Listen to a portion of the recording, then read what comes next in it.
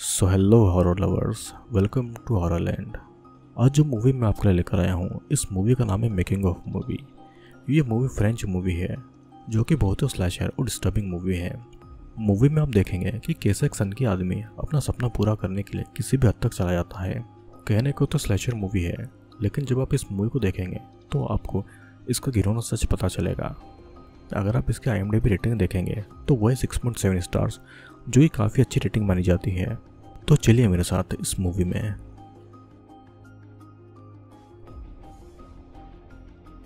तो इस मूवी की कहानी शुरू होती है टोनी नाम के एक आदमी से, जो कि एक फ़ेमस फ़िल्म मेकर बनना चाहता था।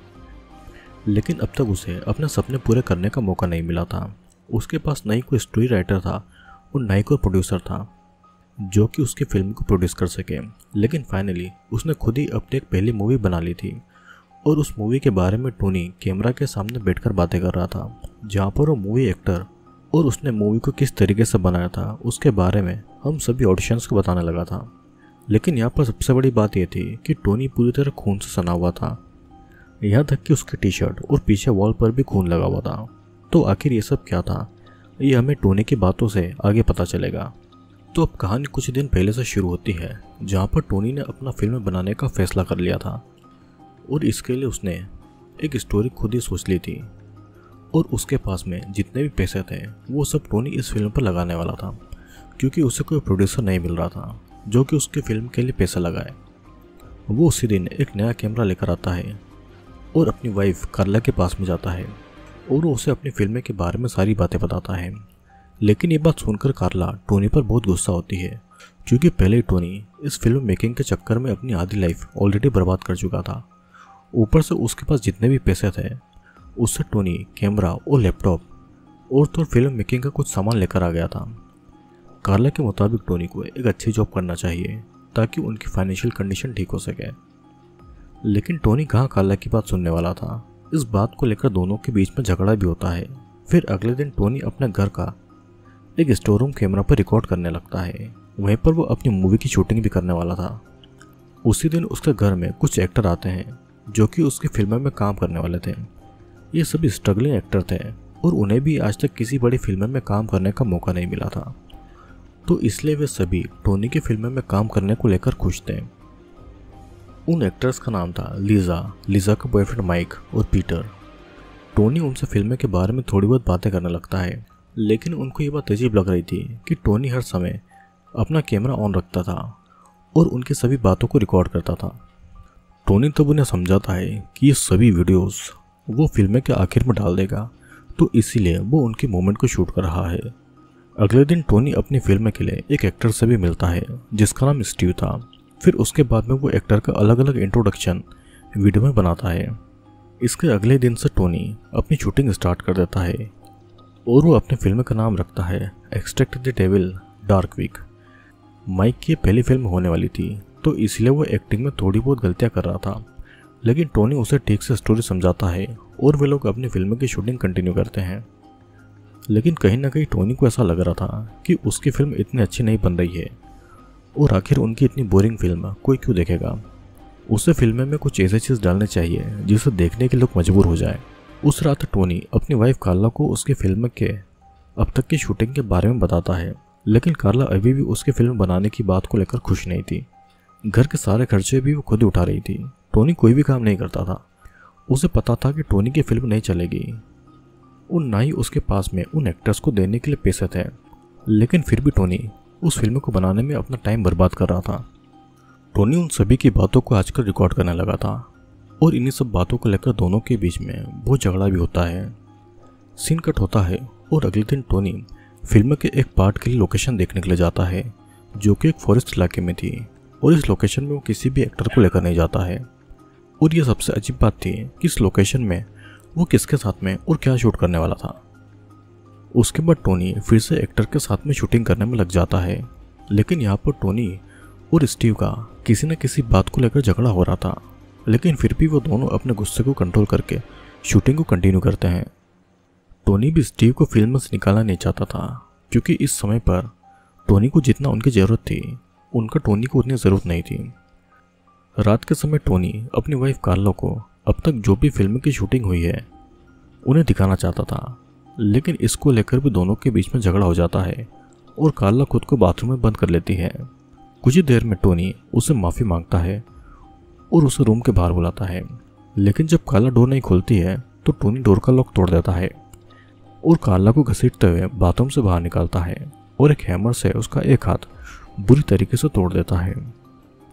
कार्ला दर्द के मारे तड़प रही थी, लेकिन टोनी को उसके ऊपर जरा भी दया नहीं आ रही थी, और उल्टा वो हैमर से कार्ला के सर पर वार करके उसका सर पूरी तरीके से क्रश कर देता है। फिर टोनी इसी हालत में कार्ला की डेड बॉडी के साथ में भी करता है, और ये सब वो अपने कैमरा पर रिकॉर्ड भी कर रहा था। अब कार्ला की डेड बॉडी को वहीं पर छोड़कर टोनी पीटर को कॉल करके एक रेस्टोरेंट में मिलने के लिए बुलाता है। और दोनों वहाँ पर बैठकर फ़िल्म के बारे में बातें करते हैं। पीटर को फ़िल्म की पूरी स्टोरी जानना थी और टोनी की स्टोरी कंप्लीट ही नहीं थी। इस बात को लेकर दोनों के बीच में आर्ग्यूमेंट भी होती है। टोनी को अभी भी होश नहीं था कि उसने एक फ़िल्म के चक्कर में कार्लो को मार दिया है। फिर अगले दिन टोनी कार्ला की बॉडी का छोटा छोटा टुकड़ा करके एक बैग में भरकर अपनी कार में उसे रख देता है। टोनी फिर एरिक नाम के एक लड़के से मिलता है, जो कि उसकी पूरी फ़िल्म को एडिट करने वाला था। उससे बात करने के बाद में टोनी सभी एक्टर को अपने घर पर शूटिंग के लिए बुलाता है। वहाँ पर लिजा और पीटर जब अपनी लाइंस की प्रैक्टिस कर रहे थे तो उनको लाइंस पढ़कर हँसी आ रही थी। इस बात पर टोनी को गुस्सा आता है और वो पीटर से झगड़ने लगता है। पीटर भी गुस्से में टोनी की फ़िल्म को छोड़कर वहाँ से चला जाता है, क्योंकि वैसे भी उसका रोल बहुत ही छोटा था और उसको पैसे भी नहीं मिल रहे थे। फिर पीटर के जाने के बाद में टोनी माइको लिजा के साथ में आगे की शूटिंग करने लगता है। लेकिन यहाँ पर भी दोनों बार पर गलतियाँ कर रहे थे। तो इसलिए टोनी माइक को लिविंग रूम में बैठने को कहता है वो लिजा को अपने साथ में बाथरूम में लेकर जाता है ताकि वो बाथरूम में जाकर अपनी लाइन्स को प्रैक्टिस कर सके। लेकिन बाथरूम में जाने के बाद टोनी लिजा को नेकेड होकर बाथटब में नहाने को कहता है, लेकिन ऐसा कोई भी सीन फ़िल्म में नहीं था। और ऊपर से लिजा कभी भी न्यूड शूट नहीं करना चाहती थी। तो इसलिए वो टोनी को सीधे सीधे इसके लिए मना कर देती है। और तब टोनी लिजा के साथ में ज़बरदस्ती करने की कोशिश करता है। लिजा जब टोनी को रोक रही थी तो वो उसके ऊपर हाथ उठा देता है और वो उसे बालों से पकड़कर उसका सर बाथटब के पानी में डाल देता है, जिससे कि कुछ ही टाइम में दम घुटने की वजह से लिजा की मौत हो जाती है और उसके बाद टोनी लिजा की डेड बॉडी का भी करता है। फिर वो किचन में जाकर हैमर और कुछ टूल्स बाथरूम में लेकर आता है और उन टूल की हेल्प से लिजा के सर को काटने, फोड़ने और डिस्ट्रॉय करने लगता है। यहाँ पर माइक को नहीं पता था कि बाथरूम में उसकी गर्लफ्रेंड के साथ में क्या हुआ है। बहुत देर तक लिजा बाथरूम से नहीं आती है। तो इसलिए वो खुद लिजा को देखने के लिए बाथरूम में चला जाता है और वहाँ पर लिजा की डेड बॉडी के साथ में टोनी को देखकर सब कुछ समझ जाता है। फिर माइक टोनी के घर से भागने की कोशिश करता है, लेकिन उससे पहले टोनी एक हैमर से माइक के सर फोड़कर उसे जान से मार देता है। दोनों को मारने के बाद में टोनी पूरे बाथटब को प्लास्टिक से ढक देता है। वो दोनों के डेड बॉडी के टुकड़े करने लगता है और सभी चीज़ों को वो अपने कैमरा में रिकॉर्ड कर रहा था। साथ ही टोनी माइक की डेड बॉडी के टुकड़ों के अलग अलग पार्ट के साथ में कर रहा था। ऊपर से वो माइक के इंटेस्टाइन से ह्यूमन वेस्ट निकालकर उसे खा जाता है, जो कि बहुत ही घिनौनी चीज़ थी। ये चीज़ें टोनी को भी घिनौनी लग रही थी, लेकिन फ़िल्म को पूरा करने के लिए उसने सारी हदें पार कर ली थी। फिर वो दोनों की बॉडी पार्ट्स को प्लास्टिक बैग में पैक करता है। और उसके बाद में वो अपने कैट को घर की दीवार पर पटक पटक कर मार डालता है। उसकी कैट अभी भी ज़िंदा थी और वो अभी भी तड़प रही थी और तब टोनी ओवन को कैट के ऊपर फेंक कर उसे पूरा ख़त्म कर देता है और फिर टोनी उस कैट की डेड बॉडी के साथ में रेप करता है। फिर कुछ देर के बाद टोनी पीटर को समझाकर उससे माफ़ी मांगकर उसे अपने घर में बुलाता है। पहले तो पीटर से नॉर्मली बात करने लगता है, लेकिन जब पीटर का ध्यान भटकता है तो टोनी हैमर से उसके सर पर वार करके उसे बेहोश कर देता है। अब कुछ देर के बाद में वो थप्पड़ मारकर पीटर को होश में लाता है और उसने पीटर को रूम में बाँध कर रखा था और उसके मुँह में भी उसने टेप लगा दी थी ताकि पीटर चिल्ला ना सके। साथ ही उसके पैर के बीच में भी एक लकड़ी टोनी ने रख दी थी ताकि पीटर ज़रा भी अपने पैर को हिला ना सके। फिर अब टोनी, हैमर से एक एक करके पीटर के दोनों पैर को क्रश कर देता है। और फिर हैमर से उसके सर पर बार बार वार करके उसे जान से मार डालता है। पीटर के मर जाने के बाद में टोनी उसका सर काट कर उसकी बॉडी से उसे अलग कर देता है और बाकी की डेड बॉडी का वो करने लगता है। तभी उसको स्टीव का कॉल आता है और तब टोनी उसे अपने घर में बुलाता है। कुछ देर के बाद में स्टीव वहाँ पर आता है और उससे मूवी की शूटिंग के बारे में पूछता है। इसका टोनी के पास में कोई जवाब नहीं था तो इसलिए मौका देखकर टोनी हैमर से स्टीव के सर पर वार करके उसे बेहोश कर देता है। फिर वो स्टीव के सारे कपड़े उतार कर उसे चेयर पर बाँध देता है। और जब स्टीव को होश आता है तो खुद को ऐसी हालत में देखकर बहुत ही ज़्यादा डर जाता है। ऊपर से टोनी अपने हाथ पर चेंसो लेकर खड़ा हुआ था।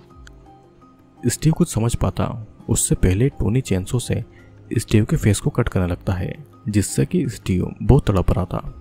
अब टोनी स्टीव के ऊपर कई सारे टूल यूज़ करता है। और उसे टॉर्चर करता है। लेकिन आखिर में वो ड्रिल मशीन से स्टीव के सर पर होल करके उसे जान से मार डालता है। फिर वो स्टीव की डेड बॉडी का करने लगता है। कुछ देर के बाद में टोनी उन सभी डेड बॉडीज के टुकड़ों को कार में लेकर उसी जंगल वाली लोकेशन पर जाता है जिसे कुछ दिन पहले अकेले देखने गया था। वहीं पर वो उन सभी की डेड बॉडी को दफना देता है और वो उनके ग्रेव्स पर एक एक झाड़ू लगा देता है। तभी उसे याद आता है कि एरिक भी इस मूवी का पार्ट है। क्योंकि वो तो मूवी का एडिटर है तो इसलिए टोनी एरिक के घर जाकर हैमर से उसे पीट पीट कर उसे जान से मार डालता है। अब टोनी उसकी भी डेड बॉडी को बाकियों के साथ में उसी लोकेशन पर दफना देता है। फिर सब काम खत्म होने के बाद में टोनी वहीं पर लिजा के कटे हुए सर को लेकर उसमें अपना प्राइवेट पार्ट डालकर उसका रेप करने लगता है। और आखिर में वो उनके ग्रेव के सामने बैठकर प्रे करता है। इन सब के बाद में मूवी उसी सीन पर शिफ्ट हो जाती है जहाँ पर टोनी खून से भरा हुआ था और वही टी शर्ट पहनकर वो अपनी फ़िल्म के बारे में बता रहा था।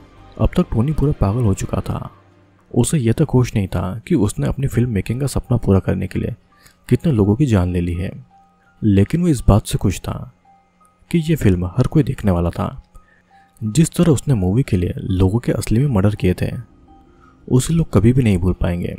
और आखिर में टोनी खुद के सर पर गोली मारकर खुद की जान ले लेता है। क्योंकि वो नहीं चाहता था कि इस फ़िल्म से जुड़ा हुआ कोई भी व्यक्ति ज़िंदा बचे। मूवी के लास्ट सीन में हमें फ़िल्म के एक्टर का इंटरव्यू दिखाया जाता है, जो कि टोनी की फ़िल्म में काम करने के लिए बहुत ही खुश थे। सभी को लगा था कि अब उनके सभी सपने पूरे होंगे। लेकिन उन्हें क्या पता था कि एक सन की फ़िल्म मेकर अपने सपने के चक्कर में उनकी बेरहमी से जान ले लेगा, और इसी के साथ में ये मूवी यहीं पर एंड हो जाती है। तो दोस्तों मेकिंग ऑफ़ एक बहुत ही स्लेशर और डिस्टर्बिंग मूवी है, जिसमें एक सन की डायरेक्टर होता है और वो एक ऐसी मूवी बनाना चाहता है, जो कि दुनिया की सबसे टेरिफाइंग मूवी हो। ये मूवी बनाना उसका अपना सपना था, लेकिन उसके पास में मूवी बनाने के लिए पैसे नहीं थे। वो अपनी सेविंग से मूवी बनाने का सामान लेकर आता है और कुछ स्ट्रगलिंग एक्टर को हायर करता है अपनी मूवी में काम करने के लिए। लेकिन उन एक्टर को नहीं पता था कि वो जिस मूवी में काम करने वाले हैं, उस मूवी के अंत में उन्हें मरना पड़ेगा। क्योंकि टोनी ये नहीं चाहता था कि इस मूवी में काम करने वाला कोई भी व्यक्ति ज़िंदा बचे। और उसने हर उस आदमी को मार दिया, जो भी इस मूवी का पार्ट था, या जिसे भी इस मूवी के बारे में पता था। और कुछ इस तरीके से उसने दुनिया की सबसे टेरिफाइंग मूवी बनाई। तो दोस्तों, क्या टोनी ने अपना सपना पूरा करने के लिए ये काम ठीक किया या गलत किया, नीचे कमेंट में ज़रूर बताना। और साथ में ये भी लिखते जाना कि आप लोग कहाँ से इस वीडियो को देख रहे हैं, ताकि मुझे भी पता चले कि मेरे व्यूवर्स कहाँ कहाँ से मुझे देख रहे हैं। तो चलिए, मैं आपके लिए एक और अगला वीडियो जल्दी लेकर आने वाला हूँ, जो कि इससे भी ज़्यादा डिस्टर्बिंग मूवी पर होगा। तो अब मैं आपसे मिलूँगा अगले वीडियो में।